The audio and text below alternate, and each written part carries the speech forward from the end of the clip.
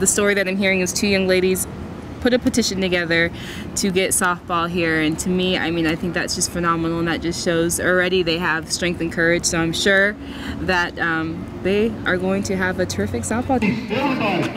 Give it up for Miss Natasha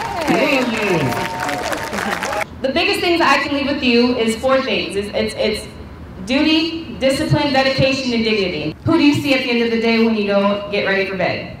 And you look in the mirror yourself, okay? So that's when you can look in yourself and you have your dignity. And that's when you know that you've done everything in your day to create your masterpiece. And it's pretty much, that's all I, I preach when I go and I speak to kids is just creating your masterpiece every single day, setting yourself apart from the person that's next to you. Because if you can think about it, you're not the only person that wants to succeed. You're not the only person that wants to go to college. And you're not the only one per person that wants to be successful and be on top. So at the end of the day, it's what are you're doing every single day to separate yourself from the next. Do you have like any tips for people that haven't played before? Haven't played before?